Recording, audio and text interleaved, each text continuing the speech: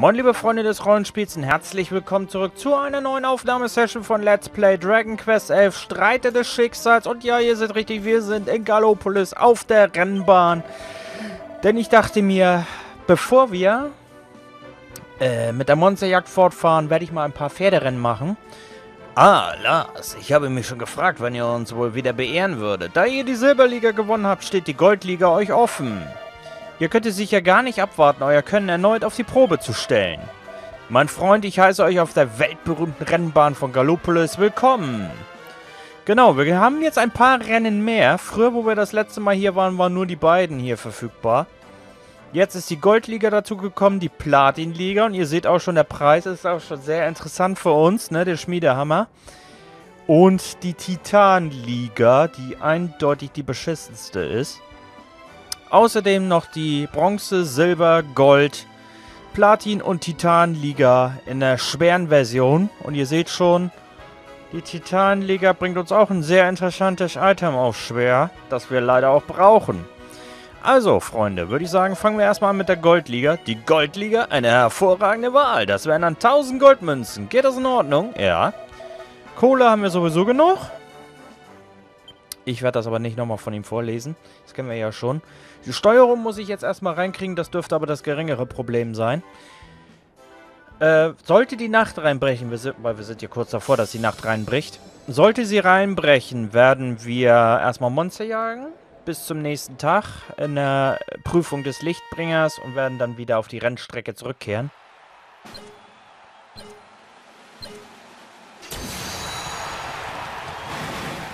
Ah, der alte Mann kennt sie noch, die Steuerung. Sehr gut. Wunderbar. Wir waren ja... Öh, wir waren lange nicht mehr hier. Muss ich ja ehrlich mal sagen. Wir waren wirklich lange nicht mehr hier. Ich glaube in den 20er-Parts damals. Ganz früher noch, wo es noch um die Gallopolis-Tracht ging. Wo wir noch hinter dem Schilderzweig her waren. Gott, ist das lange her. Meine Güte, ist das, das ist ja wirklich ewig her. Deswegen wird es mal wieder Zeit, Freunde, dass wir mal wieder die Rennstrecke hier ein bisschen benutzen. Und ich werde dann auch ein bisschen weniger labern, als es üblich ist von mir, weil ich mich konzentrieren muss. Es werden auch Emotionen dabei sein, natürlich, ganz klar. Vor allen Dingen, wenn irgendein Gegner mich frecherweise von der Bahn wegdrischt, so wie vorhin. Ein Handy liegt im Weg. Ist natürlich supi, wenn man Gegenstände am Mauspad liegen hat, die einen so ein bisschen davon abhalten. Aber es reicht trotzdem für den Sieg. Ich muss mal hier meine Gegenstände Kleinen Moment. So, erster Platz. Das war die Goldliga. Neuer Rekord. Ja, ich weiß aber nicht, ob es jetzt für die Trophäe reicht. Das ist auch nicht so wichtig, ehrlich gesagt.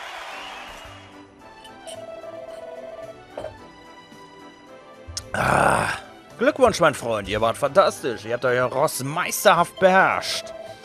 Ach, aber ich hätte ja fast das Wichtigste vergessen. Der Sieger der Goldliga erhält diesen prächtigen Preis. Ich hoffe, er gefällt euch.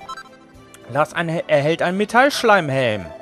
Diesen Preis erhält jeder Teilnehmer der Goldliga. Ich hoffe, er gefällt euch. Lars erhält einen Klumpen Golderz.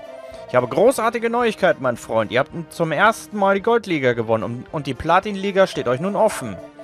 Gewiss könnt ihr es gar nicht erwarten, euer Können noch weiter auf die Probe zu stellen. Du kannst nun am Rennen der Platinliga teilnehmen. Jo. Ich hoffe, ihr nehmt bald wieder an einem Rennen teil. Ja, wie gesagt, er wiederholt sich nur.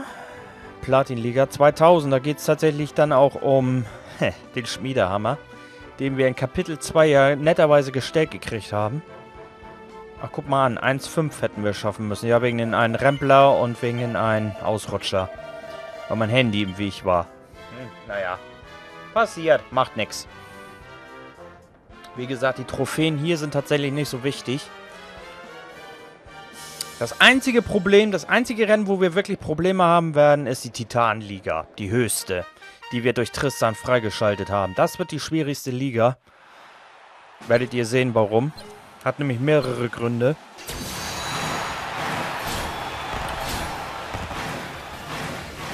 Ja, soll er uns erstmal überholen. Ist okay. Am Ende werde ich der Sieger sein. Sag ich doch. Ey! Überholt die Sau mich einfach. Hier sind übrigens drei Rennen angesagt, sehe ich gerade. Nicht zwei Rennen, äh, zwei Runden. Viel zu erzählen habe ich euch eh nicht.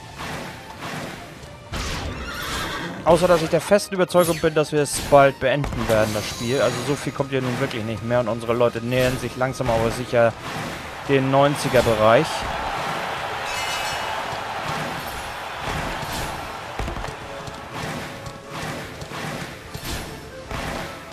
bin auch schon dabei tatsächlich, äh, also wenn ihr das seht, dürften wir wahrscheinlich sowieso schon längst im Let's Schnacken 18 sein. Äh, wenn nicht sogar schon weiter.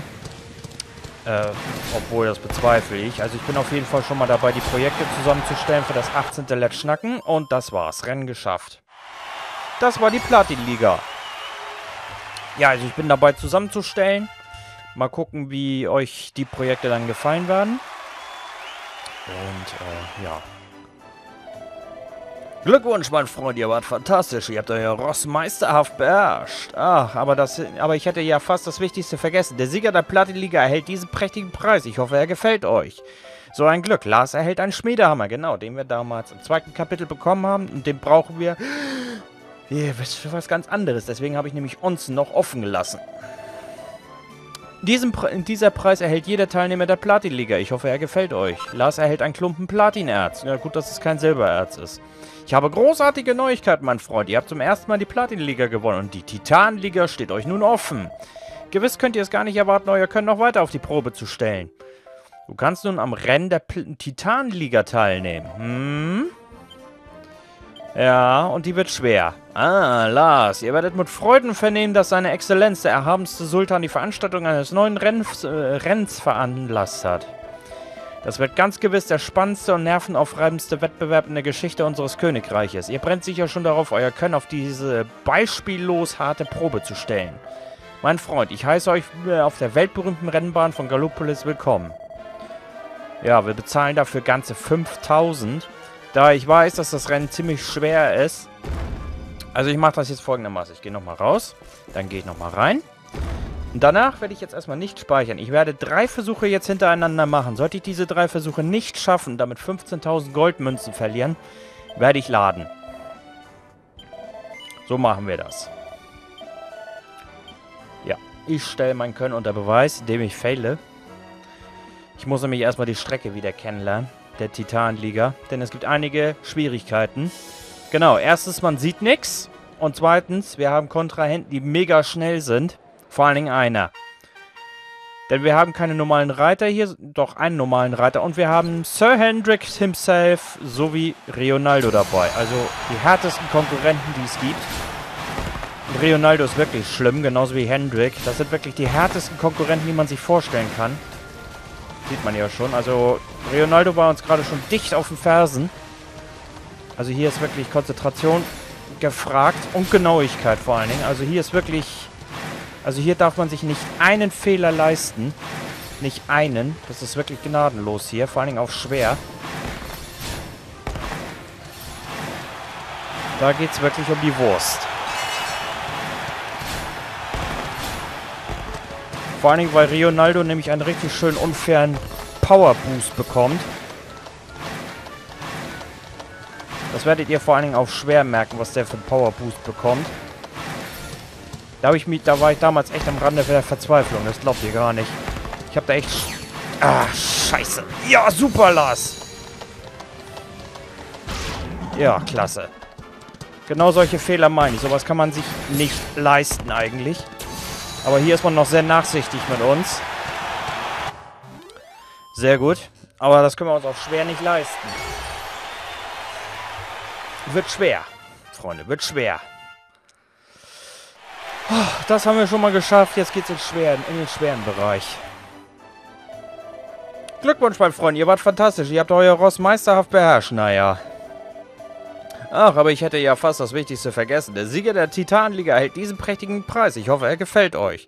Lars erhält ein Anleitungsbuch mit dem Titel Rüstzeug eines legendären Recken.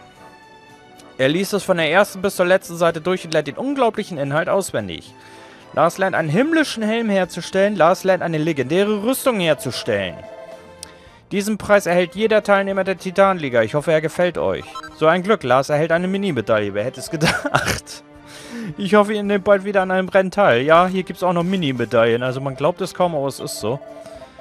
Gut, jetzt könnten wir hier sogar einen Vermillion gewinnen, den wir ja eigentlich bei unserer guten Freundin Crystallinda herstellen lassen können. Nein, wir gehen jetzt über in den schweren Modus. Das sind übrigens die einzigen Modes, die es gibt und fangen an mit der Bronzeliga. 200 Goldmünzen ist okay. Man sieht auch schon, die Titanliga ist auf schwer kostenlos. Ja, die ist kostenlos und das nicht umsonst, weil die ist so schwer. Ich glaube, da wirst du so viel Geld sonst los. Also wenn die 10.000 oder so kosten würde, du würdest so viel Kohle loswerden dafür. Das wäre nicht mehr feierlich. Ist wirklich so. Also ich finde das schon, muss ich wirklich sagen, also da muss ich wirklich auch sagen, äh, finde ich gut von den Entwicklern, dass sie das so gemacht haben, dass das wirklich so fair geregelt wurde, dass sie gesagt haben, okay, wir machen das zwar scheiße schwer, aber die Leute bezahlen dafür kein Geld. Weil dann können sie so viel failen, wie sie wollen, weil das wird sowieso nicht bei First Try klappen, ganz klar. Äh, aber dann haben die Leute wenigstens Zeit und verlieren dabei nicht so viel Geld. Und das finde ich echt gut, dass sie das so gemacht haben. Weil sie hätten auch genauso fies sein können und sagen können, ja klar, pro Rennen verlierst du 10.000. Und wenn du kein Geld mehr hast, ja, hast du Pech gehabt halt, ne? Musst du halt leveln. Beziehungsweise musst du halt deine Geldbörse erstmal auffüllen, ne? Bis du wieder am Rennen teilnehmen kannst. Und das finde ich wirklich so fair, dass sie gesagt haben, nö, machen wir kostenlos. Wirklich gut. Muss man ja auch mal anerkennen, ne?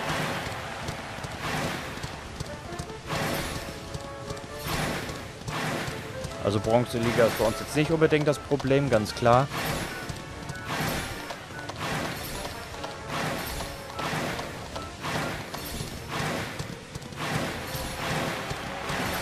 Schaffen wir.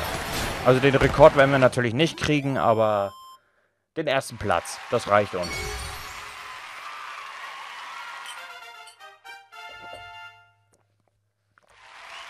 Ah, sehr schön. Ich lese das jetzt nicht nochmal vor. Ich habe das jetzt so oft vorgelesen, diesen Part. Da reicht das. Wir bekommen eine Goldarmschiene. Dieser Preis erhält jeder Teilnehmer der Bronzeliga. Ich hoffe, er gefällt euch. Zwei Klumpen Kupfererz. Jawohl. Ja, besser Kl Kupfererz als Silbererz. Das werden wir nämlich gleich kriegen. Oh, ich war sogar drunter, aber wir haben hier die Trophäe schon geholt. Deswegen habe ich die jetzt nicht nochmal gekriegt. Ein Meuchler gibt's hier. 500. Ja, klar, warum nicht? Wieder mit Abkürzung. Hm. Also wir kommen voran bisher. Bis zur Titanliga. Dann ist vorbei. dann geht's nicht mehr voran. Die ist so scheiße, die Titanliga auf schwer. Das sage ich euch. Da werde ich dann auch äh, stiller sein. Oder eben auch nicht. Das wird sich dann zeigen.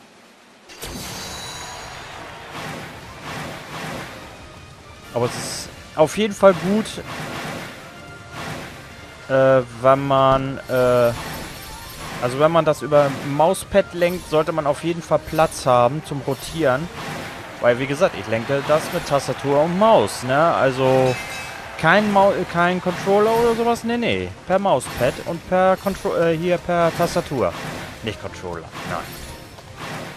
So wie ich das die ganze Zeit auch schon mache, seit Part 1. Alles per Tastatur und Maus.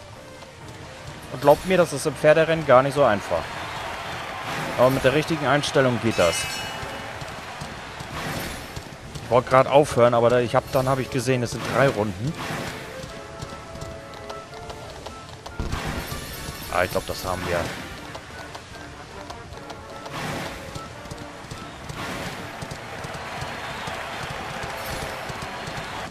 Jawohl. Oh, 1,61. Ein, ja, okay. Also 1,061. Ich glaube, das könnte eine Trophäe geben, wenn wir die nicht schon haben. Das weiß ich nicht. Das war die Silberliga auf schwer. Wir erhalten einen Meuchler, jawohl. Zwei Klumpen Silbererz, toll. Unsere Truhe ist sowieso schon voll damit. Tatsächlich, Jungjockey für eine beeindruckende Leistung in der Silberliga der Rennbahn von Gallopolis. Kurz mal zwischenspeichern. Automatische Speicherung, Freunde. Ihr wisst Bescheid. So, und dann gehen wir wieder zurück. Manchmal hat das durchaus seine Vorteile. Ah, Tageszeitpunkt hat sich nicht viel geändert. So, Goldliga kostet schon 2000. Also man merkt schon, wird, geht jetzt schon ein bisschen höher. Dann Platinliga 4000. Ja. Aber wird schon. Und die Platin- und die Titanliga ist halt kostenlos. Glücklicherweise. Rein theoretisch könnte ich auch noch am pfiffigen, an der pfiffigen Schmiede könnte ich im Nachhinein auch noch sämtliche Items schmieden, die wir noch nicht geschmiedet haben. Oder die verbessern, die halt nicht perfekt wurden, bis auf die Waffen, die sich halt verbessern. Aber nö, das mache ich nicht. Das wäre ein bisschen zu viel des Guten, finde ich. Also das mit den Anleitungsbüchern, das ist schon okay. Genauso auch wie mit... Äh, ey! Da rammt die Sau mich! Der rammt mich einfach. Was für, was für eine Mistforke. Der rammt mich. Was war das denn für ein Arschloch-Move, mein Lieber, hä? Das war aber nicht nett, Freundchen.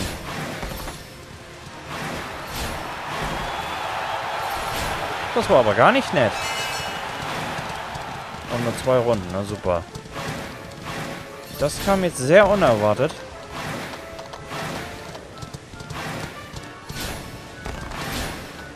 Muss ich mich doch gerade ein bisschen konzentrieren. Das hätte ich jetzt nicht gedacht. Der rammte uns einfach. Und der entkommt uns auch noch, ey. Ich glaub's nicht.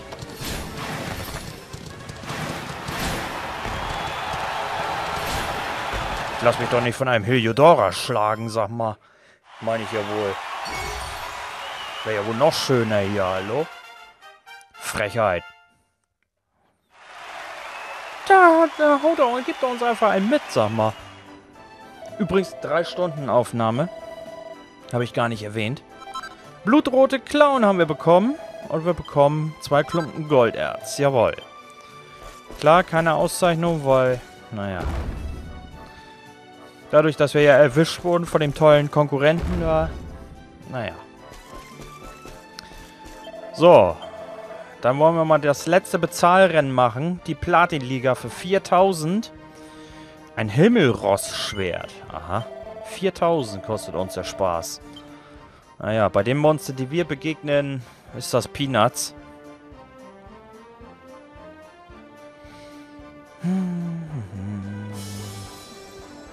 Aber ich bin halt scharf auf dieses seltene Item. Weil wenn wir, wenn wir das nämlich haben, erhöhen wir die Chance, seltene Monster zu treffen. Hatte ich ja erwähnt, dass es die gibt, aber leider erst im dritten Kapitel. Das ist halt das Blöde. Leider halt erst im dritten Kapitel und damit sehr, sehr spät. Oh, wir sind einfach mal letzter. Supi.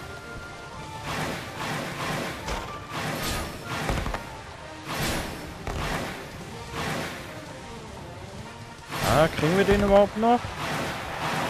Ja, bitte, geht doch. Aber unsere Ausdauer gefällt mir gerade nicht. Ja, das habe ich mir gedacht. Das habe ich mir gedacht. Ja, solche Fehler sind nicht gut. Die können einen den Sieg kosten, wenn man nicht aufpasst.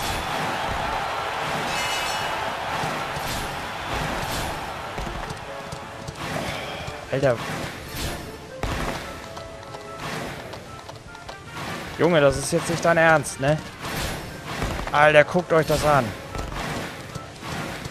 So, und jetzt wird mal ein bisschen langsamer hier. Oh, der war aus Sniffelheim. Ja, erster. Eieieiei. Also die Sniffelheimer haben echt gute Kavalleristen. Heidewitzka. Das war knapp. Ja. Ja, das war echt knapp. Himmelsrohrschwert. Vielen Dank. Und zwei Pl Klumpen Platinerz. Danke. So, jetzt gehen wir nochmal raus. Jetzt geht die Scheiße nämlich richtig los. Mhm. Das werden wir definitiv nicht First Try schaffen. Das würde mich sehr wundern. Wirklich sehr wundern. Jetzt kommt die Platinliga. Für die schwingende Spürsins eine Halskette, die die Chance auf seltene Monster erhöht. Und die nur wir tragen können, zusammen mit dem Ring, den wir ja in der Le Académie de Medailles bekommen haben. Die Platin-Liga auf schwer mit Ronaldo, Hendrik und einem Random-Reiter. Das wird so übel, weil jetzt kriegen Hendrik und Ronaldo nämlich einen Boost, einen unfairen Boost. Also beide bekommen diesen Boost. Nicht nur äh, Ronaldo, sondern auch Hendrik. Deswegen wird es zwischendurch sein. Genau. Da habt ihr den Boost. Jo. Da habt ihr den Boost mal gesehen. Anscheinend bekommen den alle Reiter, nur wir nicht.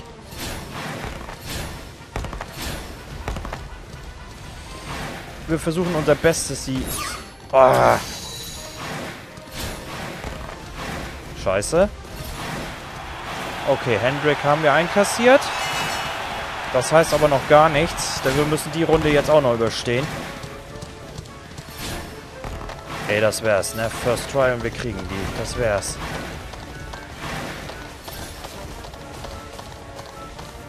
Aber irgendwie habe ich da so... Oh, ich wusste es.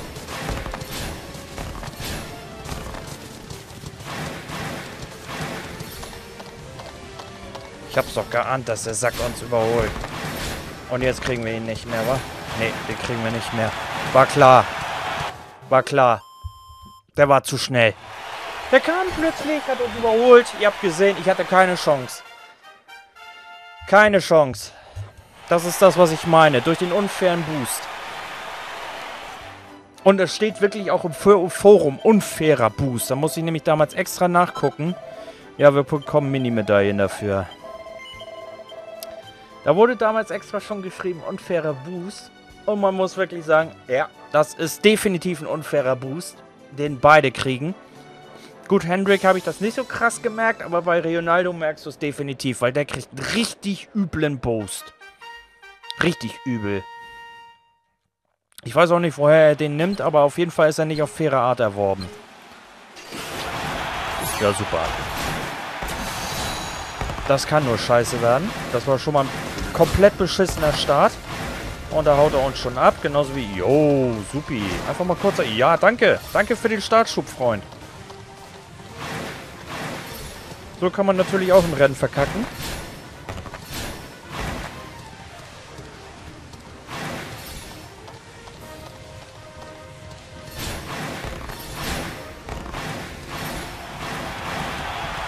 Los, überholen! Oh, wir überholen nicht mal Hendrik. Was ist das denn? Sag mal, du wirst doch wohl noch Hendrik überholen. Oh, Alter, sind wir schlecht. Ja, ist klar. Danke, Obsidian. Aber Ronaldo kriegen wir nicht. Der ist viel zu schnell. Guckt euch das an. Der ist schneller als die Polizei erlaubt. Den sieht man gar nicht mehr. Wie soll ich den denn überholen, sag mal?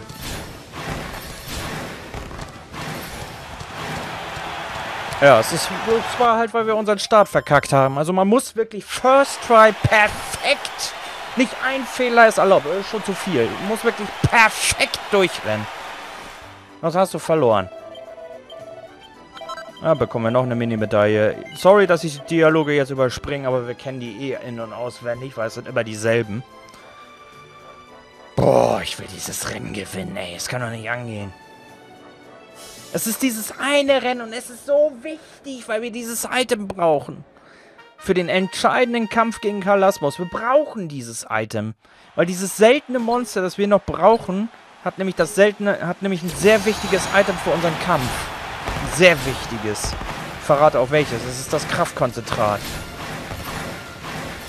Wenn wir das nämlich kriegen und das in Massen, also so, dass es ausreicht, können wir Kalasmos mit Leichtigkeit besiegen. Aber dann ist der Bosskampf wirklich scheiße.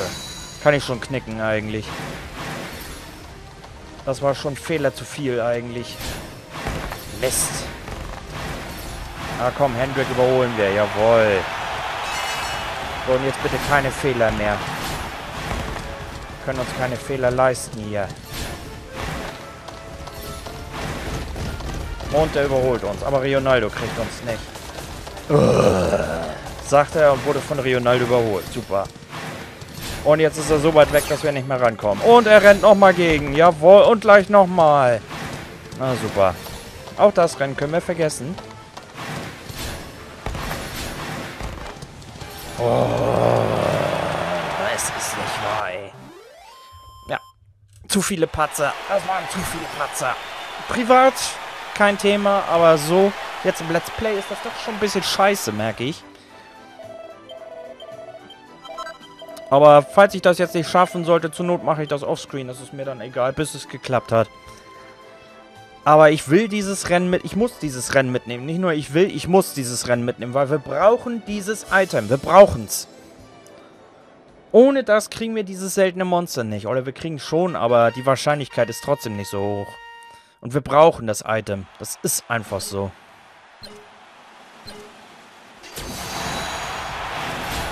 So, Konzentration lassen. Ich werde jetzt mal ein bisschen weniger labern. Und mich mehr aufs Rennen konzentrieren. Ja, sagt er und wird von fast allen überholt. Super.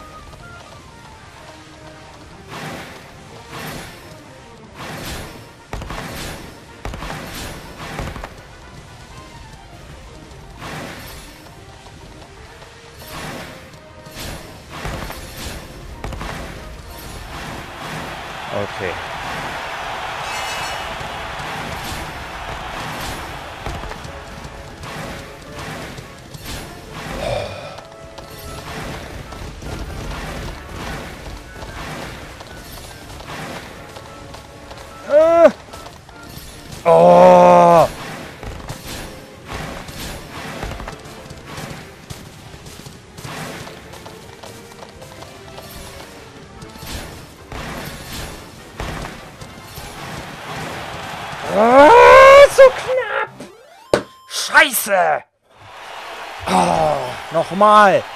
Das kann doch nicht angehen. Ja, nix neuer Rekord. Verpiss dich. Mann. Es war kein Sieg, also reicht nicht. Hm. Bla bla bla, machen Kopf zu, ehrlich. Und ja, so habe ich genauso reagiert damals. Ich habe euch gesagt, es wird dauern. Oh, dieser unfaire Boost, den hätte man sich so schenken können. Nein, der muss unbedingt rein. Weil ist ja schwer. Hm? Super. Ich hätte schön gefunden, wenn man auch einen dementsprechenden Ausgleich mal für die schafft, dass sie mal so richtig schön hängen bleiben. Gerade so zum Schluss wäre das schön gewesen, aber nein. Natürlich kriegen sie noch so einen unfairen Boost, dass er auch ja über die Ziellinie hinaus reicht. Damit du auch ja Probleme hast, ehrlich. Ja, muss dich halt mal mehr anstrengen. Ja, danke. Vielen Dank auch. So, es sind immer solche Sprüche, die liebe ich immer. Muss dich halt mehr anstrengen. Mhm. Ist klar. Zitterst wie bescheuert, willst dieses scheiß Rennen gewinnen. Weißt du, und dann kriegst du noch so einen Spruch entgegengehauen. Muss ich halt mehr anstrengen. Ja, vielen Dank auch.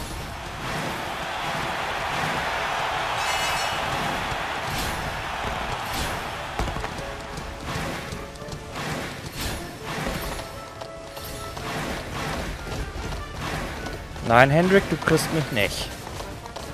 Und Ronaldo, du kriegst uns auch nicht. Äh. Unfassbar, der rammt uns und kommt trotzdem vorbei. Das ist echt nicht zu fassen. Guckt euch das an. Der galoppiert ganz gemütlich, als wäre es ganz normal.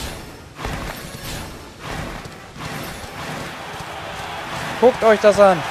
Und dann kriegt er zum Schluss kriegt er noch einen Boost. Da kommst du nicht gegen an. Den, der Schlussboost, den hätten sie sich so schenken können. Nein, den müssen sie ihnen auch noch geben, damit der Ja gewinnt. Ey. Unfassbar. Ja, bla, bla. Komm, mach einen Kopf zu. Es ist echt gut, dass sie es kostenlos gemacht haben, weil, wie gesagt, First Try funktioniert nicht. Funktioniert nicht, wird nix. Es ist dieser unfaire Boost. Ihr habt gesehen, er hat uns angerempelt. Das hat ihn nicht interessiert. Er kam trotzdem vorbei. Das würdest du nie im Leben hinkriegen. Nie. Aber er, ja, kein Thema. Oh, cheatende KI. Ich hasse sowas. Da reagiere ich echt allergisch drauf. Ehrlich, sowas hasse ich wie die Pest.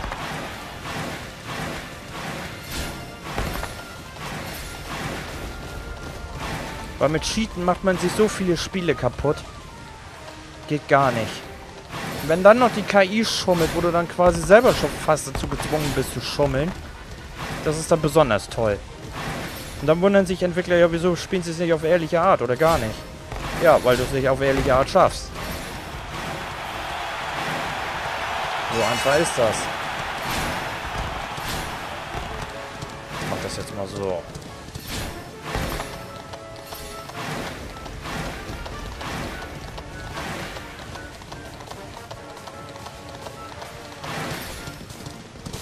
Und Ronaldo überholt uns wieder. Oh, ich darf jetzt nirgends gegenknallen. Guckt euch das an. Der galoppiert ganz gemütlich an uns vorbei, als wäre es nix.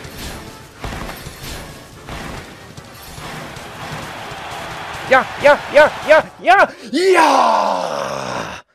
Ja! Ja!